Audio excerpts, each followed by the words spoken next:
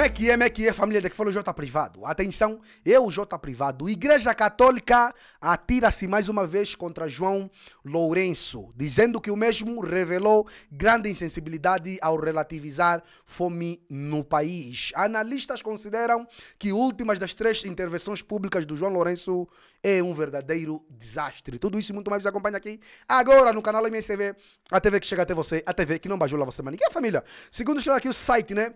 Yeah, é, Angola 24 horas, é isto mesmo. Igreja Católica atira-se mais uma vez contra o presidente da República de nome João Lourenço, né? Ao, ao dizer que o mesmo revelou grande insensibilidade ao relativizar a fome no país. João Lourenço vive num mundo de história, estás a ver? Ele só vive dentro do carro e dentro da casa dele, tá entendendo? É basicamente isso.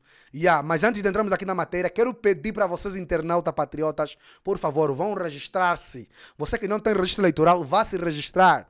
Você que o teu caducou, já vá atualizar. É muito importante, ok, família? Porque só assim poderemos mudar a situação que se vive hoje no país. Poderemos votar em Alberto Costa Júnior. Por quê? Porque ele é o homem que nós confiamos, é o nome que nós conhecemos e é o presidente que nós queremos para governar esse país. Tá entendendo? Por isso pedimos, vá atualizar o seu registro eleitoral. Você que não tem, vai se registrar. Vá obter o seu registro eleitoral. É fácil, família, ok, família? Então, sem mais sem mais longas, vocês que querem ter contato com o J Privado, é só ir na descrição do vídeo. Tem lá o primeiro link na descrição, é meu Instagram me segue. Vocês que querem anunciar, denunciar, fechar parceria com o nosso canal, também são na descrição do vídeo, tem os contatos para isso e o link para a doação. Então, sem mais sem mais longas, vamos aqui para a notícia, né?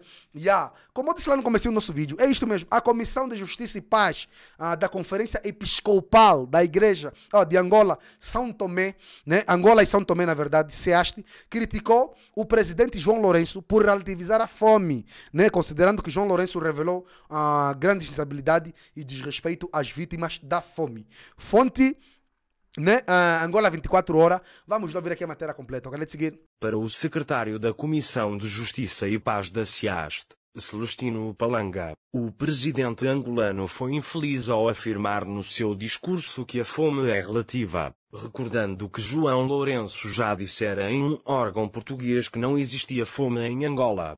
Poucos dias depois conseguimos mostrar ao presidente que havia sim fome em Angola. Vimos a quantidade de gado bovino, algumas vítimas de fome e fez-se aquela mega campanha e o presidente teve que se deslocar para ver a situação e louco. Se não existia fome em Angola naquela altura por que é que se mobilizou fundos, meios para acudir aquelas populações? Questionou Celestino Palanga. O presidente angolano, João Lourenço, no papel de presidente do Movimento Popular de Libertação de Angola MPLA, fez, no sábado, várias críticas aos seus adversários políticos que de manhã à noite só cantam a música da fome, afirmando que a fome é sempre relativa. Talvez por conveniência própria, talvez por conveniência política convenha repetir incessantemente a palavra fome, mas eu diria que o grande problema de Angola, se quisermos ser mais precisos, é o pouco poder de compra dos nossos cidadãos resultante dos altos índices de desemprego, afirmou, que atribuiu a um conjunto de fatores, mas sobretudo à Covid-19. Portanto, esses cidadãos que, lamentavelmente, se encontram nesta situação de desemprego ou semi-empregados não têm poder de compra para garantir o sustento das suas famílias. Mas, de resto, a produção agrícola, pecuária e piscatória tem subido todos os dias para os olhos de quem quer ver e é minimamente honesto. Sublinhou Lourenço, acrescentando que é uma responsabilidade que tem sido passada ao setor empresarial privado. João Lourenço, reeleito presidente do MPLA, no poder desde 1975, falava no estádio 11 de novembro em Luanda, durante um ato de massas alusivo ao 8 Congresso Ordinário do seu partido. A seca e a fome assolam milhares de angolanos no sul do país que, em busca de subsistência, estão a emigrar para os países vizinhos e outros socorrem-se de frutos silvestres para sobreviver, como relatam distintas autoridades locais e membros da sociedade civil. Segundo Celestino Palanga, também sacerdote católico, que falava hoje à Rádio Ecologia, emissora católica de Angola, a afirmação infeliz de João Lourenço de que a fome era relativa revela uma grande insensibilidade, um grande cinismo e uma autêntica falta de respeito pelas vidas humanas. Toda a vida é importante. Milhares de angolanos estão a passar fome e não é preciso sair da capital do país. Nós que andamos nesses becos e guetos, nós que estamos na comunidade sabemos o quanto as pessoas têm que lutar pela sobrevivência, referiu o padre. O secretário da Comissão de Justiça e Paz da SIAST afirma que o grito de pessoas por causa da fome é sentido todos os santos dias e certamente o Presidente da República não tem esta oportunidade de ouvir o grito dos pobres, das crianças.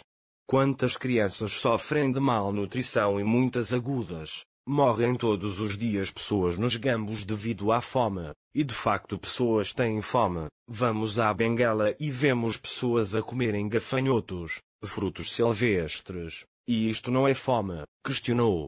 Senhor Presidente, tenha mais respeito pela vida humana. As vidas destes irmãos nossos são tão sagradas quanto a vida do Senhor Presidente, atirou Celestino Palanga. Os bispos católicos da SIASTE defenderam, em outubro passado, a declaração de estado de emergência no sul de Angola, devido à seca e fome provocada pela longa estiagem, pedindo às autoridades humildade e para não confundirem a fome com a questão política. Uma comissão multissetorial para acudir às populações afetadas pela seca e fome no sul de Angola foi criada pelo presidente angolano, quando decorrem igualmente a construção de infraestruturas locais visando levar água às populações. Agora, ainda o Angola 24 horas também diz aqui que analistas considera, oh, analista considera as últimas três intervenções do presidente João Lourenço um verdadeiro desastre. O analista político e jornalista Graça Campo, que considera um verdadeiro desastre ah, os discursos do, recentes do presidente João Lourenço, é ainda de opinião que, em termos de comunicacionais, né, o titular do Poder Executivo em Angola ah, teve, te, ah, teve e teria uma semana de cão. Fonte, né? Um, a, Lil, a Angola 24 horas, também vamos ouvir aqui a matéria completa. O Souza Jamba tocou na ferida, ao que consta, sim, porque neste país as coisas continuam a ser feitas sob muita opacidade. O governo assinou um contrato de assessoria com a portuguesa Cunha e Vaz, conforme Graça. Dado o seu objeto social, segundo analisa, depreende-se que a Cunha e Vaz está em Angola para melhorar a comunicação do governo com a sociedade, uma das principais peixes do presidente João Lourenço. Mas, Observa, por alguma razão qualquer que escapa à própria razão, a presença dos assessores portugueses em Angola coincide com uma crescente degradação da qualidade do discurso do presidente João Lourenço, adicionando que as últimas três intervenções públicas de João Lourenço foram verdadeiros desastres. Para o jornalista, nos tempos da boa e respeitada disciplina, a esta hora ainda estariam a mofar numa qualquer cadeia, depois de devidamente exorzidos, os autores do discurso em que o presidente dá uma imagem pouco dignificante à mulher filiada no MPLA neste particular. Graça Campos defendeu que a afirmação de que quem se meter com o MPLA tem de passar primeiro por cima das mulheres deveria valer ao autor do texto valentes açoites. Depois, quem esteve no Congresso do MPLA diz que a moção de estratégia de João Lourenço, lida pelo próprio, foi um martírio, não apenas pelo seu vazio de ideias, mas, sobretudo, pelo tempo de leitura que consumiu, lembrou. Referiu igualmente que, um relato apócrifo que está a circular nas redes sociais, mas que é de alguém que esteve lá dentro, afirma que a moção de estratégia do líder foi uma seca, pois JLO não sabe apresentar um documento que até estava a ser distribuído, e fez um exercício de leitura de mais de duas horas. Leitura, em tom monocórdio, sem ênfase, que serviu para embalar muitos que foram cochilando e outros, conversando, fazendo comentários, gozando em tom baixo, no acto de militantes, realizando no estádio 11 de novembro, sublinha o analista, João Lourenço voltou a registar momentos, muito baixos, sendo que as referências à fome, que considerou relativa, foram tomadas pela generalidade dos angolanos como um escárnio aos concidadãos que morrem ou fogem do país em virtude da falta de alimentação. Para terminar o dia em glória, refere, muitos observadores tomaram como forçadas e aivadas de inveja as referências de João Lourenço ao presidente emérito do MPLA, José Eduardo dos Santos, sempre apresentado pelo próprio MPLA como exclusivo arquiteto da paz, realçou, no dia 11 de dezembro desmontou, finalmente, o embuste, ao revelar publicamente que sem o apoio do MPLA, José Eduardo dos Santos não teria ido a lado algum na pacificação do país. No fundo, nada que já não soubéssemos.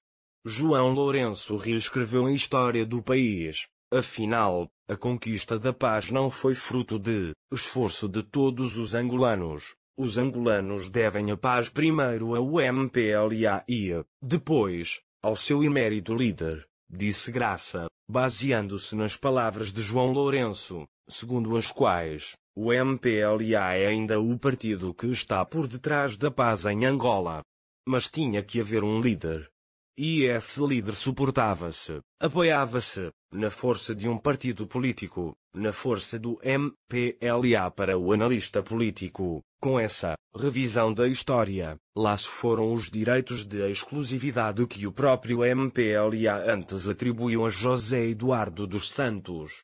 Em suma, por junto e atacado, dir-se-ia que em termos comunicacionais o presidente João Lourenço teve uma semana de cão. O que nos remete, novamente, para a serventia dos assessores da Cunha e Vaz, certamente contratados a peso de ouro. Remat... E a família, o vídeo de hoje foi esse. Se vocês curtiram, sabem fazer, se inscrevam no canal, ativem as notificações, partilhem o vídeo, comenta, porque isso também é notícia. Vocês não sabem, então sabem a partir de nós, então é notícia. A nossa campanha para aprender família de Santos, para aprender família neta, família de Lô continua. Os nossos contatos para parceria, divulgação e denúncia estão na descrição do nosso vídeo, que essa opinião é muito importante. Até o próximo vídeo. MSTV, a TV que chega até você, a TV que não vai ajular você, maniga.